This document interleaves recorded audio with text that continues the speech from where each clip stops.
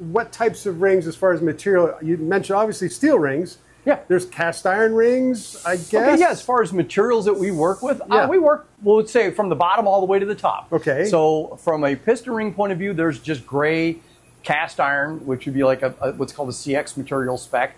Uh, then we move into the ductile irons, which a lot of people refer to as like KV1.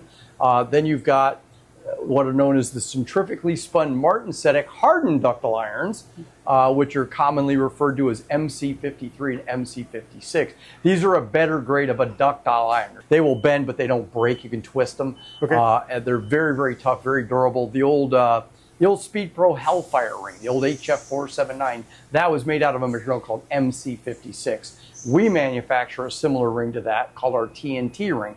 It's a hardened ductile iron ring. It is as well made from MC56. Okay. Very, very tough ring material. Uh, our diesel rings that we produce for all the, the medium duty diesel trucks, uh, your you know six four, six seven, seven threes, you know all your uh, your Duramaxes. We manufacture those rings from MC56, which is a hardened ductile iron. Very, very tough stuff. Thermal conductance is excellent. So, and then we move from those types of materials into the steel world, and we produce rings from 440B stainless steel Right. into the carbon families, which are 9254, M2 tool steel. Uh, then we have the exotics that we work with. We work with Inconels and cobalts and stellites and things like that. Now, those are very limited applications, very expensive materials, but we work with those types of materials as well. Uh, we work with a material called ToughMet made by a company called Materion, which is a, a copper nickel silicon based product. Okay. Uh, very exotic, very expensive,